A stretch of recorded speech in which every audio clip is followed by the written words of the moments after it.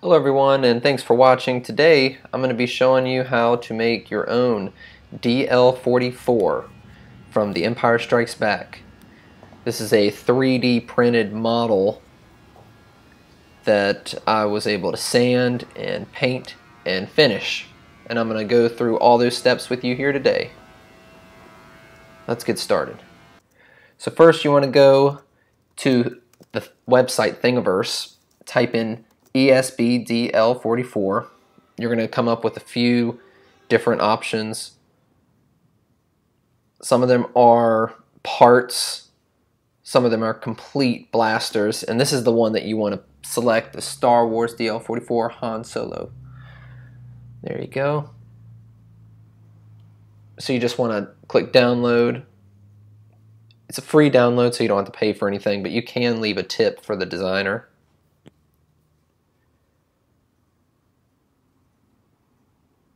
And once you've downloaded the file, you can open up Mesh Mixer, which is a free program that can cut and also orientate your uh, your objects for printing. And as you can see, it's not straight up, but we've got a little angle to it. So once you've got that figured out, you're going to open up Ultimaker Cura, which is another free software which is used to basically uh, turn the STL files into readable files for your 3D printer. So you open this up, you want to kind of go with your normal settings. Um, make sure that there is build support at at least 70 degrees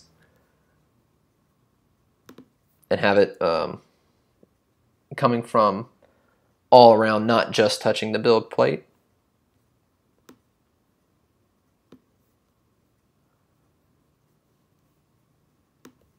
and you want the support to have a really low density like 0.2% because it's really hard to break off if it's any more dense than that.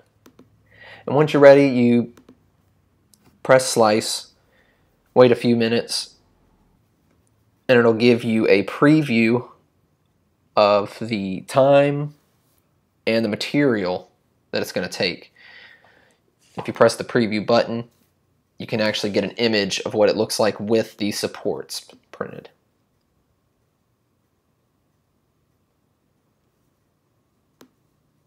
And whenever you're done with that, you can save it to your file or your removable disk, in my case, which is what I use to, uh, I use a tiny SD card. Here's a time lapse of the print.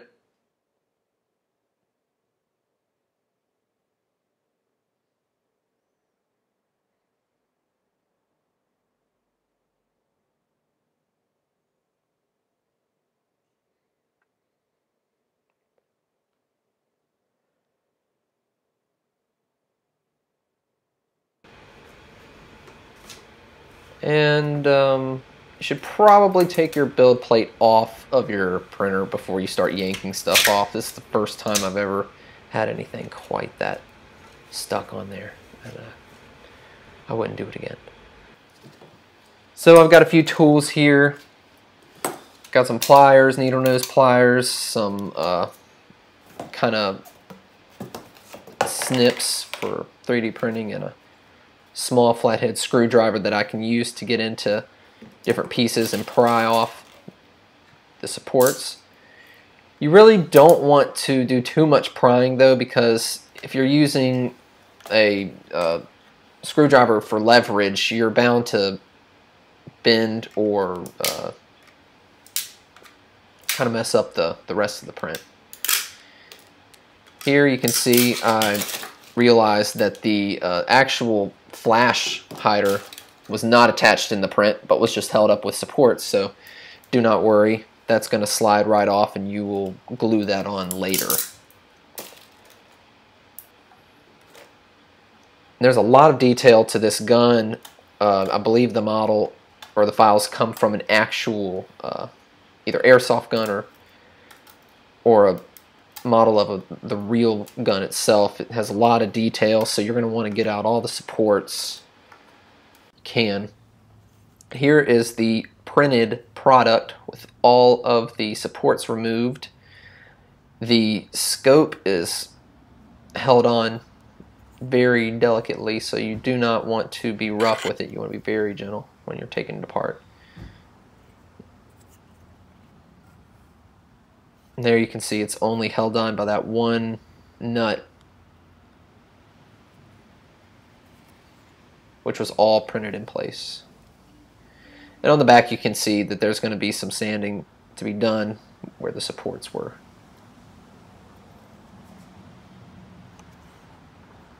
So the process of sanding begins. I started with the flash hider and um, basically wanted to get rid of any of the 3D printing lines without sanding off any of the detail.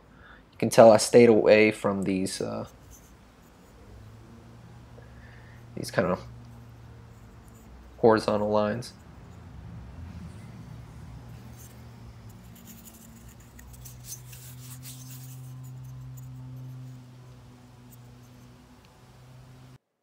Next, we're going to sand the actual blaster itself, which has a whole lot more detail and crevices. But after a while, get it pretty good. It doesn't have to be perfect because we will be using filler primer to fill in a lot of these cracks.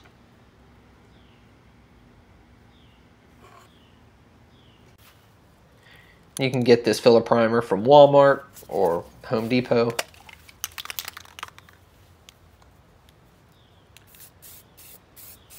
And always, you know, when you're spray painting, make sure to spray, you know, something else first before you hit your object. You don't want it to have some kind of crazy surprise of paint that you don't want.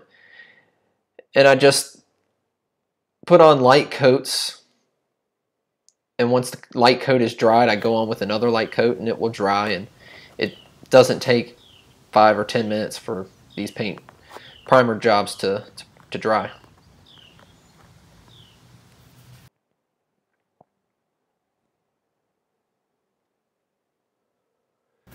And you want to turn it around, rotate it, get all the different spots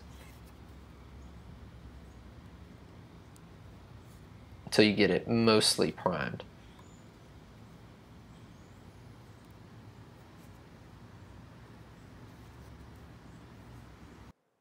Then you want to go back for another sanding. The first coat of primer is going to have a lot of particles and a lot of debris, and it's going to be uh, it's not going to be smooth at all. So sanding it down, making it smoother, also uh, sanding down some of those 3D print lines that have been painted over. And also you want to get a rag and wipe it down before coats. You don't want any dust from your sanding.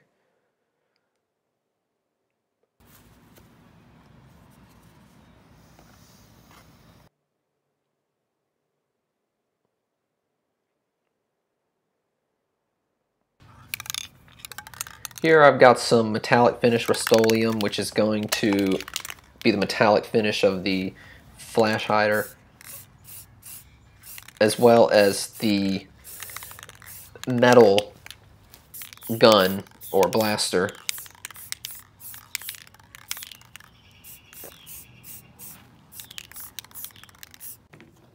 Here I've got some Bondo glazing spot filler, which will fill in any of these cracks as you can see on the hammer and um, any imperfections that are just too big to to leave.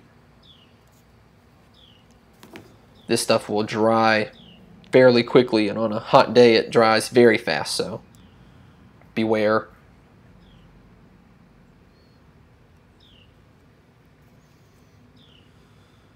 and try not to cake too much of this in the corners because once it's dry it you know kind of gets a little messy if you have any rubber gloves or latex gloves that's the best thing to use. Here I just got a Walmart bag. You don't really want to touch this stuff too much Um, just like any chemicals, it's not good to have contact contact with your uh, with your skin. In most of the places that I've had the the spotting uh, spot glaze are all places where the supports from the print were. So that's where the majority of your filling is going to be.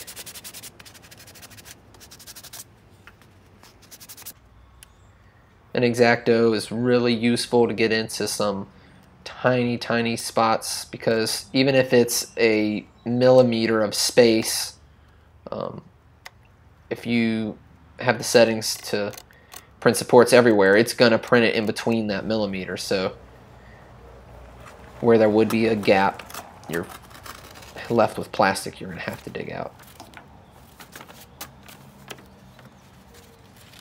With a piece of paper here, I was able to make a uh, little bit of a covering for the rest of the blaster while I paint the scope.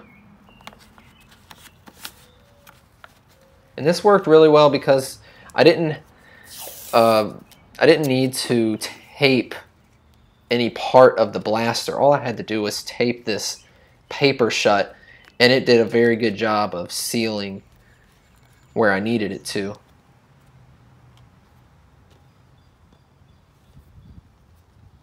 sometimes tape on paint just uh, when you're painting really quick doesn't turn out too good. Here I've got some bronze, which is uh, the only thing I could find for this brass uh, scope, which it looks close enough.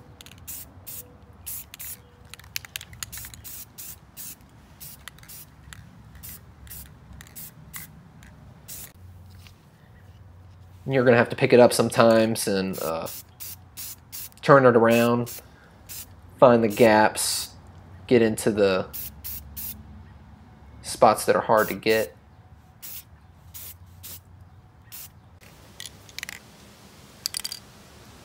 Here's a technique where I will paint over top of this dried metallic finish and before it dries try to wipe away some of the finish to reveal a, uh, a weathering technique.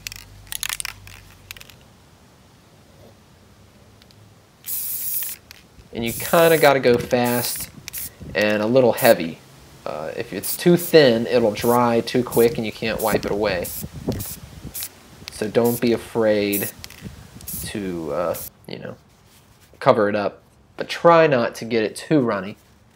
Here I was using a paper towel and I kind of regret using making that choice uh, because the fibers on the paper towel sometimes come off onto the paint and later I use a piece of the the brown paper that I'm using to cover up the blaster to wipe away from corners and, and sides which gave it a much better effect.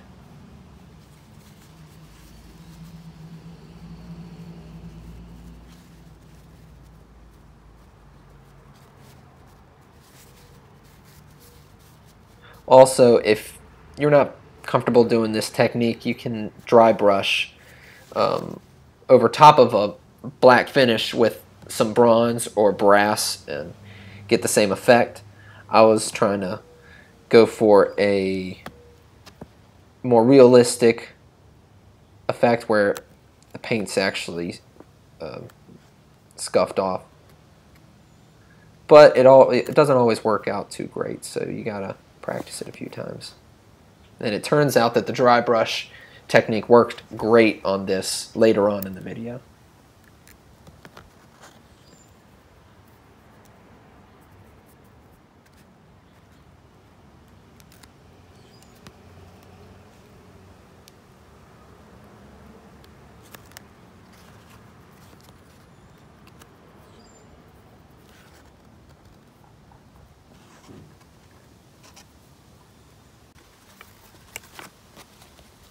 now a reveal of the scope.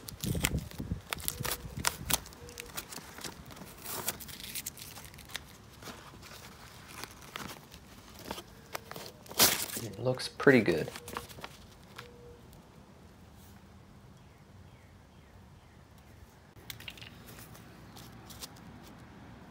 Here, I regret taping up my scope on the other side and also I regret painting the uh, the actual grip of the handle silver. The idea of the silver is where there's metal, I can scratch off the paint and there'll be metal underneath. I was not thinking that uh, if I scratched off the handle there would be shiny metal underneath, which is, you know, not very accurate. So next time, I think I will just just paint the uh, the metal, actual, you know, silver, and be sure to block off that that grip and paint it uh, either with a, a brown base or just a black primer.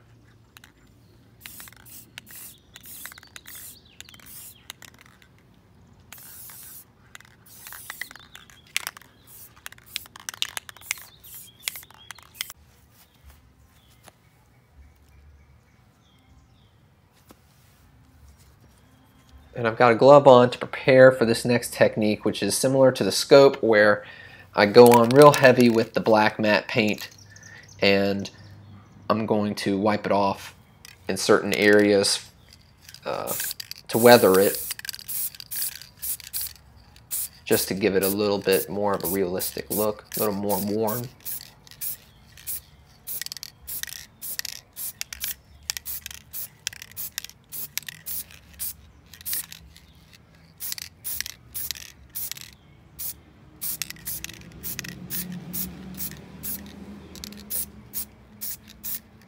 You kind of got to move fast on a bigger spot like this because you do not want it to dry before you get a chance to get get to it and wipe away some of the paint. But here you can see I'm hitting all the spots that more than likely would get scuffed up, but also hitting it in different spots just to give it some character.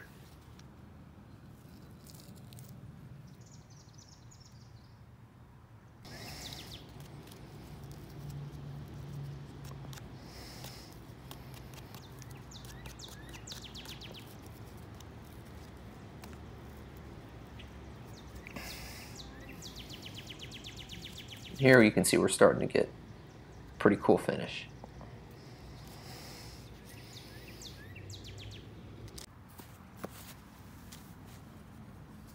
Now it's dry, you can really get an idea of what it's like.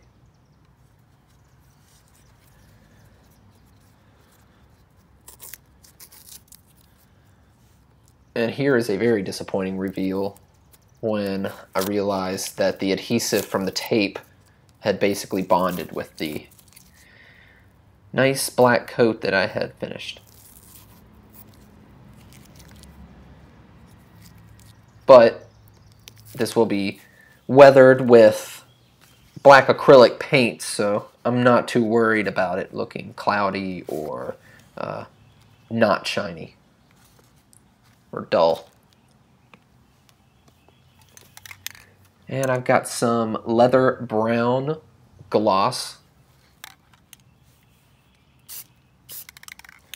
Gonna go over the handle here.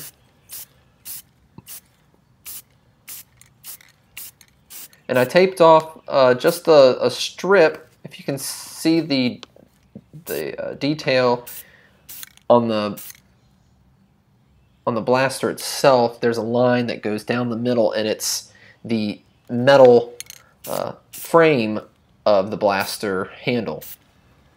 And the wood grips are on the side, so if you tape that off, it'll look just that much more realistic.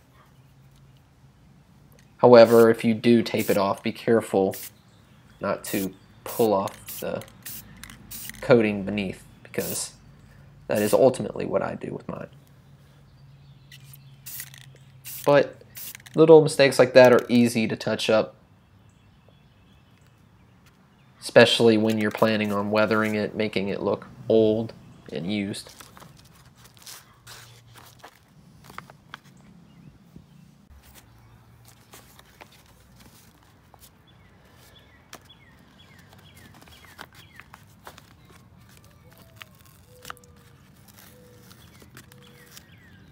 carefully remove tape because it will pull back, especially this gloss finish. For some reason, the gloss really, really comes off.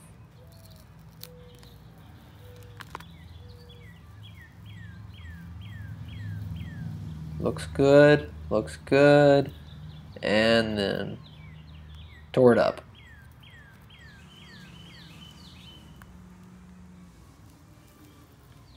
being careful not to do the same thing. Going down the backside.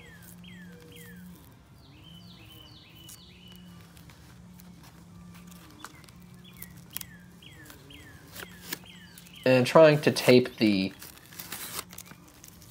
paper to itself and not to the actual finish.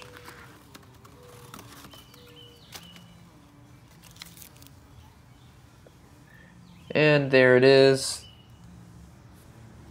brown and shiny. And you can see the scope is a little dull from compared to the rest of the blaster from my tape.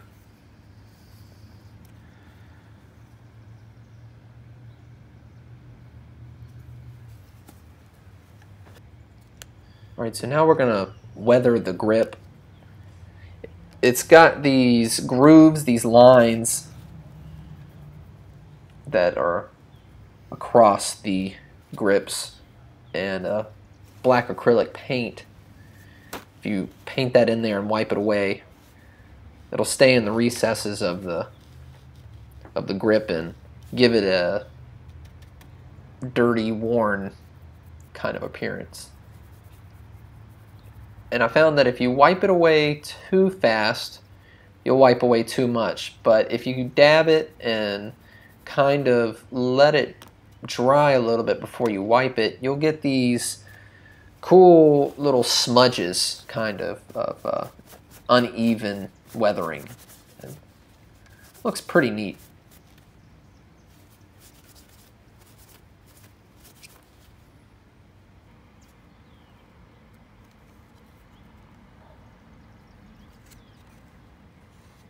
Here you can see a few smudges there. And of course we covered all over the gun as well. And now the flash hider.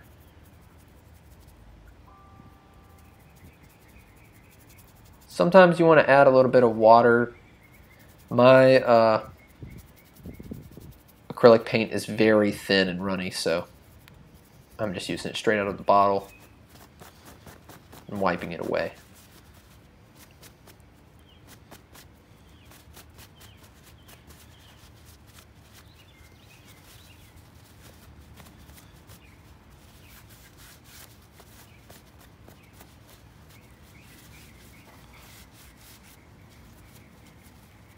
And it's easy to wipe away too much. So like I said before, instead of wiping it all while it's completely wet, let it dry and kind of uh, just let it uh, let it kind of get tacky. And you can use a paper towel to to dab on it and some of it will stay and some of it will be picked up. Use some reference photos as well if you're trying to get your, you know, trying to get your weathering as close as possible to the movie. Here you can see I did some dry brush and I'm going to do a little bit more here. And when you don't have the colors in a, uh, a bottle, you can always just spray paint into a, a plate and use it as your paint. Now the paintbrush that you use will ultimately be ruined because you cannot wash this out. It's not water based. But if you've got an old chip brush like this one here, it can be pretty useful.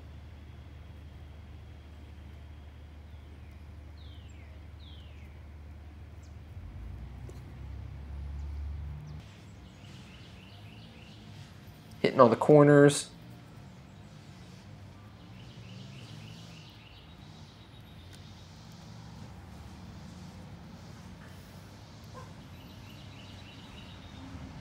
Trying to make it so that it's worn all the way around, but you don't want it to be even.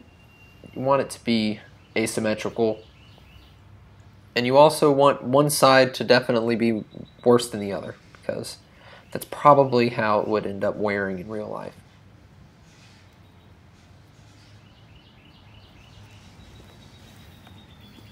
There you can see the dry brush technique that worked out really good.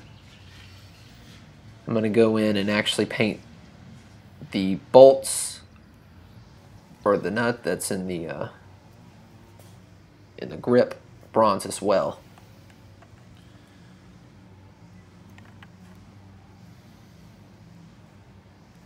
E6000 is probably the best thing to use. It's a little bit more like uh, hot glue, but a lot stronger. So it's going to have a little bit of give, a little bit of flexibility. If you're uh, gluing two pieces like this together, you kind of want them to, to, to have a little bit of cushion, a little bit of shock absorption. So instead of having it glued with a very uh, brittle glue, if you drop it, it's much more likely to just kind of break, shatter. This will be a lot less likely to do so, and you're a lot more likely to take this apart than if you glue it together with a epoxy or super glue. And I pushed it on just enough so that the, the tip of the barrel pokes out just a little bit, but not out past the flash guard. And I let it sit and there you go, the finished DL44. I hope you guys enjoyed the video. If you have any questions, leave them in the comments. Thanks for watching.